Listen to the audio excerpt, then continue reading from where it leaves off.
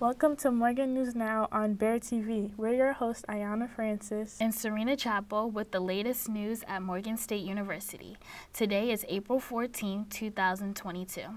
First off, Shaquille Brewster, MSNBC and NBC News correspondent, joined us here in the studio. I'm Cayla Cade. Joining me today is Shaquille Brewster, correspondent from NBC News and MSNBC. First off, welcome. Thank you for having me. Thank you for joining us today. How have you been enjoying the campus? Oh, it's been great. Uh, I this is my first time here at Morgan. I've been to Baltimore before, but it's first time here. I know your dean from when I was a college student at Howard. She was my professor. Um, so it was good catching up with her, and she gave me a great tour of the, the building. It's really nice. You guys have some really good equipment here. Yes, that's great to hear. So my first question is, tell me a little bit about your work at NBC News and MSNBC. Well, yeah, I'm a, I'm a correspondent, as you mentioned, uh, with NBC News and, and, and MSNBC. Uh, essentially, what that is, that's a reporter. Um, it's a reporter, and I give reports across uh, all platforms um, and do it for the national broadcast in anywhere. Um, I'm based in Chicago, but I was just telling a, one of your classes I was in uh, Ohio earlier this week. I went did a story in Chicago, and now I'm here in Baltimore, and I already have an email about what I'm uh, doing the next story, and I need to know what, where that's going to be. Um, but I mean, the easiest way to put it is I go to places all across the country. If there's a story that has some sort of national interest or national impact or implication, uh, I'm there, I'm talking to people on the ground, I'm doing interviews, I'm doing research, and then I present it to viewers on MSNBC or NBC News or whatever platform that may be. So, what surprised you the most about the working environment, like you going to different places and everything? I think what surprises you the most is just uh, how many places there are. like I, have been doing this job for a good this one this particular job I've been doing for two years, but before that I was on the campaign trail for both the 2020 campaign and 2016 campaign, and there are many times where I think I'm going somewhere I've been before, and then realize, oh, I've never been here. It's brand new people I'm talking to, um, and trying to learn that quickly, learn you know what's important in every different in different places, and uh, try to connect that to people. So I think the biggest surprise is how big of an area, you know, you can say you're going to Columbus, Ohio and still never have been where that story is happening at that moment. Um, so you, you, get to learn a lot and learn and quickly learn uh, what each place has to offer. So I saw that you did extensive reporting on the murder of George Floyd. Mm-hmm. Here in Baltimore, we have similar cases like the 18-year-old Darnell Rochester last month do you have any advice for student journalists covering police brutality? Yeah, it's uh, it's it's something that is hard to cover. It's difficult to cover, especially for journalists of color, especially when you're a student. Um, I'll say my first story ever, uh, let me not say first story ever, my first uh, big story that I was assigned to working at NBC was actually the death of Freddie Gray here in Baltimore. And I uh, was filling in for someone that weekend uh, when the protests really went from peaceful, quiet demonstrations to large-scale, um, you know, clashes with police. Um, and I was months in at NBC News. I was a fellow. I was part of a fellowship, and I was replacing a, associate producer. And I had to learn really quickly, um, you know, what it's like to cover a big demonstration that got national attention. Uh, I think you know one thing that I learned very very early on was you know talk to as many people as you can. Um, if it's a protest that's surrounding you know in, response to whatever action happened, um, you know learn the protest organizers, learn meet meet people there, listen to what they're saying, and stay in contact with those people, because there are plenty of times where I would meet someone at a protest don't think that they have anything to do with the story or that they're going to be able to help me tell the story for that day. But because I got their phone number, that was someone I was able to reach out to a couple of days later and say, I remember you mentioned some school. That's a school that we now learn, you know, is involved in this. Can I talk to you about it? Um, so I think the big thing, talk to as many people as you can, and you really have to stay on top of this story, which is harder for you guys now than it probably has ever been because it's not just you know going and talking to the police chief or the police official. It's also looking online at tweets and what people are tweeting about and what pictures are they're sharing or video they're sharing. Looking on Facebook, other social media platforms. There's a lot that you have to keep up with, um, but it's it's part of the job. So would you say the same thing for covering murders and crimes in Baltimore, or do you have any other different advice to offer? Yeah, I'm, so I think the big thing is, and I, I guess I didn't answer this part of it uh, for your last question, but you want to make sure that you fully know the story uh, know everything that's out there. If there was a police report, learn everything about the police report. Don't rely exclusively on the police report. That's one source of information. Uh, if there was a, a if, if, there was a location that's made public where this happened, where it's a shooting or whatever it may be, uh, go to that location, visit the location, learn about that area, um, meet people there, and talk to people in that area.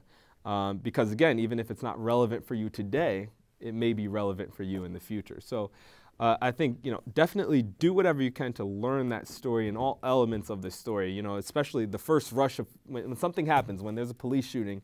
You know, the first thing that we get is that statement from police. You may hear from the family. That's your starting point, but expand beyond there um, because you never know where the story can take you.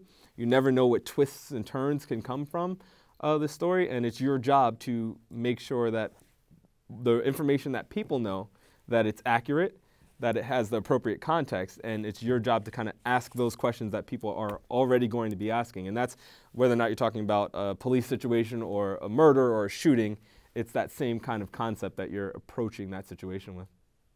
Got you. So speaking of like po police reports and everything, say that there was someone that you want to interview, a source, and they did not want to give you the information. So Happens how would you? Yeah. So how would you deal with that? Uh, it, it, it, depends. It depends on who or what that source is. Um, I'll start with the official sources. Uh, I mentioned I spent a lot of time on the campaign trail, so that's for me. It was always assigned to a specific candidate. So there's that candidate, there's that communications director, sometimes campaign manager. You're reaching out to multiple people with that one entity, and you're hoping that in your regular conversations with them that they're giving you some information or that they're answering your questions um, the biggest misconception is it's not just you know talking to them and you know pick up the phone and call the campaign manager and they tell you something. No, you do your research beforehand. You're talking to people around it. You learn some things, and then you ask the campaign manager or the candidate whatever that question is. You most likely know the answer, but now I need you to say it on the record. Now I'm asking you this specific thing, and that's how you build out your sources, and that's how you build out the information. Uh, in terms of when you deal with someone who doesn't want to speak to you, I mean there's different levels to it. You know, so many times we go out and we do MOS, you know, man on street interviews. You go out and you try to get their opinion on something that happened recently. You can't force anyone to talk to you. if someone says no, you know, you, you let it go. Um, sometimes you have people who hesitate a little bit, like, oh, you know, I don't really want to be on camera, or I hear a lot, I didn't get my hair done today. You, you hear that, and you uh, try to you try to comfort them before the camera goes on, can you just tell me what you think about this? That's what I. That's a line I use all the time. I, before we like, we're not going to record, but can you just tell me what you think of this question? And you have the conversation. You make them comfortable with you, and then they may be more willing to go on there um, and answer your question. So that's how you, you know. A lot of it is the personal interaction. I think whether it's a candidate or a man on the street interview that you're doing uh, in response to whatever news is happening that day, it's about making people comfortable with you and you know making them be able to trust you, some level of trust, and that's especially hard when they don't know you, but it's about building that trust either over a long period of time or sometimes within seconds. I agree. so, how do you manage the stress of tight deadlines and just about your job in general? Like you mentioned the campaign. So, how did you yeah. manage just being on the road a lot? Yeah, tight deadlines. I mean, that is what the job is. Um, that you know, from from for the most part, I'll say for me, um, that is what the job is because um, you know, when I wake up in the morning, my first live shot usually is in the seven o'clock hour. So most of the time, I have to have what I'm going to say at seven or what I'm going to uh, report at 7 a.m. I've been working on that the night before, um, in terms of the day before I interviewed someone, so I can have a soundbite to toss to, or I've done the research already, so I can, you know, make sure I have that report ready to go at 7 a.m. But you know, a lot of times stories are developing really quickly and you're trying to synthesize a lot of information into a very short period of time. And you don't have that much time to bring all of this to that, that short amount. Uh, so you, you just kind of got to get it done. You, you have to follow the deadlines. The biggest thing is you can't miss a deadline. If you have a story, you need to get something on there. If you have, if your story is due at 6 p.m. for the 6 p.m. newscast, you need to have something for the 6 p.m. newscast. It might not be the exact interview you wanted. You might not have been able to fact check that one fact that you really thought was going to take it over the top, but you have to make sure you get it done. And a lot of that goes to time management. And that goes to the second part of your question because when you're on the road so much, uh, it's all about time management. You have to know how far away the airport is from the live shot location or how far your hotel is from the live shot location. Oh, an interview just came up for 2 p.m you have a 245 uh, live shot. Do you have time to do that interview or do we have to move that interview uh, earlier or later? So a lot of it is time management and just figuring it out. But the biggest thing is you need to meet, make sure that you're there when you need to be on TV with a complete project because if not, then you're in pretty serious trouble. Got you. So I want to take you back to your college days. Uh-oh. What opportunities in college yeah. did you do to get to where you are now? Um, I think the biggest thing in terms of the most um, valuable would be the internship experiences I had in college. Um, and I'll start even before I got that first internship. I'm sure many of you here have had this experience where you apply for an internship and you either hear you either don't hear back at all or you hear back um, we, we want a little bit more experience. And you're like, I need the first one to be able to, I need to get some experience to have experience. And uh, part of what I did is once I kept bumping into that, that wall, I created a blog and I called it navigatingpolitics.com. I think it might still be, I'd have to check. Um, but navigatingpolitics.com, and when there were political discussions that impacted people I know, I would write a blog post about it. There were budget, you know, new budget came out. I would write a story about how it impacted students at HBCUs. Um, there was a Libya, President Obama was launching, there was some military engagement in Libya, and I wrote a blog post about what that means for folks here. Um, and the bottom line is I, I created that opportunity for myself. I, people weren't giving it to me, so it's like, all right, let me at least do that. I worked with the student-run television station because in my in the curriculum, we weren't able to really touch a camera freshman year and for like most of sophomore year. But I got in with the TV station and I was working with the senior people in, in, the TV station and I got to get the experience of holding a camera and putting a story together. And that was something that wasn't given, but I kind of pushed at it. So a lot of it is just pushing. You get that, if you can't get that internship, you do it yourself. But beyond that, uh, get internships. Do as much, do as many internships as you can. Get as much experience as you can, because that's what that first employer is going to look at. And in those interviews, they're going to say, "What stories have you done? What have, what news have you been able to break? Or give me an example of when you, you know, wrote something that's really compelling." They're going to want to see that exact work. Got you. And I know I asked you a little bit more about just the advice about managing stress and everything, but mm-hmm. I want to ask you more in a general sense. What advice can you give to student journalists on how to reach your level of success? Uh, I, I think you have to, a few different things. One, I think you should be open to any opportunity, um, even if it's not what you think you had in mind for yourself. It wasn't according to your own plan. Uh, me, for example, I'm a correspondent now I started as a producer at NBC News. I, I, started as a fellow, and then I did some work on the campaign trail, but I was a producer. And the transition from going to producer to on air was not one that I was trying to do. I, I loved producing. I was saying, oh, I want to be a bureau chief. I, I'm fine with, you know, behind the scenes. I'm locked in here. This is what I want to do.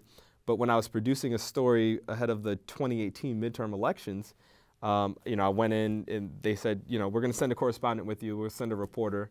And I said, okay. So I found a live shot location. I found people to talk to. I got all the interviews, got it all ready to go.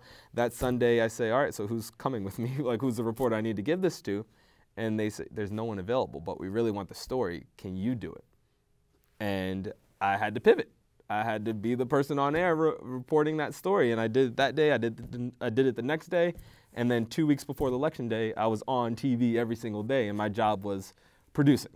Um, so that was me being open to the opportunity and being ready for when that opportunity comes. You don't know what that is, but because I knew the story back in front, because I was essentially going to hand this story to the correspondent who was going to come, I was able to kind of flip on the other side and, and, and do that.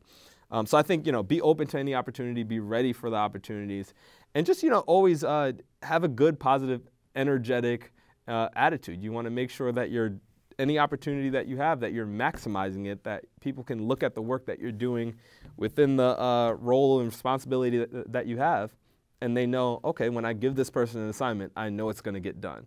If you're an intern and they give you a, a, hey, we want a couple of bullet points on the economy, or there's this new poll that just came out, can you read it and give me some bullet points? Make sure that they are the best bullet points that that anchor will ever get, that they're cleanest to read, you know, whatever it is. If you have to go off and, you know, it's been assignments where it's like, uh, if I were, I, you know, I'm, you're coming to interview me and I should have had a tie on, and you know I spilled something on my tie, we need someone to go get him a tie. Well, you're gonna get the best tie that works out for this because you're they can rely on you for anything uh, that they give you. So it's just you know making sure that with those assignments you're you're maximizing it and you're doing you're working to the best of your ability because you don't know what those opportunities can turn into and you don't know who's watching them, who's watching you as you're performing those tasks. Yes, that is wonderful advice.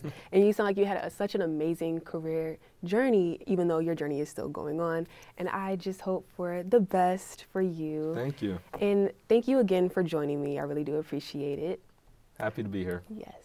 And I'm Cayla Cade, and this has been For Morgan Now. We would like to thank Shaquille Brewster for coming to speak with us. I Love Morgan Week arrives on April 25th with events like Morgan Madness and karaoke. We're also having special guests G Herbo and Toosii in concert on April 27th. Tickets are available at the Student Center. In more serious news, students protested the killing of 18 year old Donald Rochester by police. Zakiya Jennings has a story. I am outside of Baltimore City Hall, where a number of Morgan State University students have continued to march to in protest of the murder of Donnell Rochester. Donnell Rochester was an 18 year old boy who was murdered by Baltimore City Police Department on February 19th. Morgan State students have continued to come together, starting at Morgan's campus, marching all the way to City Hall, and as well as marching all the way to the police department to demand justice for Donnell. He was shot! He was shot! He was handcuffed! Protests began March 25th and have continued since then. Protesters even took over I 83 to get their point across. In the midst of protests and candlelight vigils, Donnell's aunt and community organizer Joshua Turner shared their thoughts on Morgan's presence for Donnell day was just truly like amazing, like for me and my family to like witness, you know, so many students coming out who did not know Darnell at all, and I just, we just seen the passion, we felt the passion from them. Like you would have thought Darnell was like their cousin, a still classmate, whatever, but it was just so amazing to really be around them and for them to really march for Darnell like from Morgan to City Hall. That was truly amazing, and to hear them yelling, screaming, crying for Darnell like that really brought joy to me and my sister's heart. Be a Donnell. In the next 15 seconds, I could be a Darnell. In the next five seconds, any one of them pigs can decide to come over here and make one of us a Darnell. Yeah. That's the reality that we live in. You afforded that comfort because it wasn't you. Yeah. Donnell's mother does not have that comfort. Yep. The family, as well as the Morgan State community and the Baltimore community, are demanding justice and are demanding Mayor Brandon Scott and the Baltimore Police Commissioner to step up and serve justice. I'm Zakiya Jennings, reporting for Morgan Now. Finals are coming, but don't panic. Here are a few tips for a smooth finals week. Pace yourself. Remember, 11:59 is a deadline and not a suggestion. Take one step at a time and plan which days you'll complete a final or project. We'd like to congratulate our cheer team for placing second at the National Cheerleaders Association Collegiate Nationals in Daytona, Florida. Thank you for tuning into Bear TV. I'm Ayana Francis. And I'm Serena Chaplin. And, and this, this has been Morgan News Now.